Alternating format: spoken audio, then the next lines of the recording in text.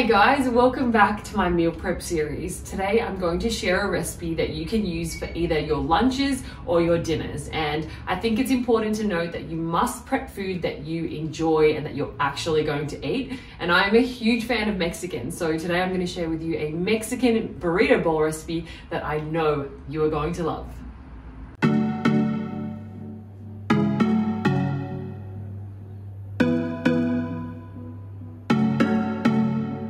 Got my pan here at a medium high heat.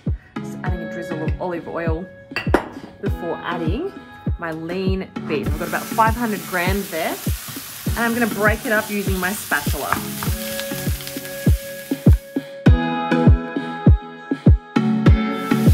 Gonna add some salt.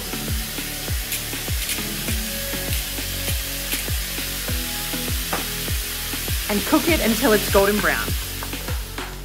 While that beef's cooking, I just want to encourage you to get creative. If you don't like beef, then swap it out either for a lamb or a chicken or a turkey mince. Either would work just as well. Alternatively, you could swap out the meat completely for a can of chickpeas, just so you're getting that hit of protein without the meat for a completely vegetarian option. Okay, that's looking like it's almost ready. I'm gonna add my sachet of Mexican seasoning the whole thing in there. I've chosen a mild flavor combination. And I'm also going to add about 40 grams of tomato paste. Now, if this gets too dry, you can always add, you know, one or two tablespoons of water until you get it at a consistency that you prefer.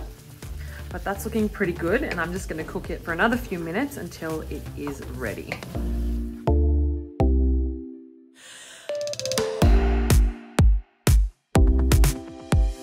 And that is it. That is the Mexican beef ready to add to my burrito bowl.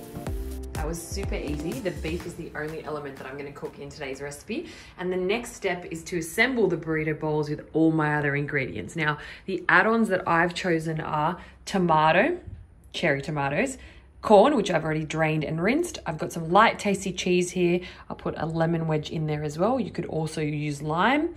Then I've got a cos lettuce that I've sliced up. I've got some coriander and I'm also going to add some YoPro yogurt. So it's quite a versatile recipe. You can really choose whatever add-ons you want and I'll show you how I assemble all the ingredients now.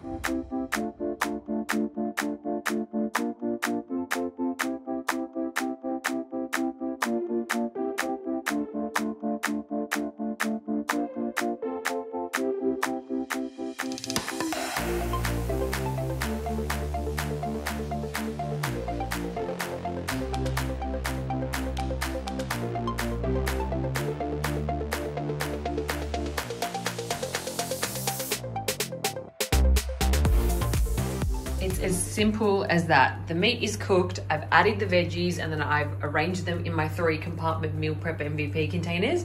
It's worth noting as well that I'm using the largest compartment for the veggies. Then I've separated the meat and then the dairy. So that will help keep it fresh in the fridge all week. Delicious and healthy food does not have to be time consuming or boring. I know I'm gonna be looking forward to my lunches this week. I will be taking these to work also worth noting that you can heat these up or have them cold. I'll either grab it out of the fridge and have it as is. Alternatively, I'll take the veggies and the dairy out, place them on a plate, and then heat up the meat in the microwave for a minute before combining them all together. Now, I really hope you give it a go. Let me know what you think. The full recipe can be found on my website, and I will see you back next week for another session in my kitchen.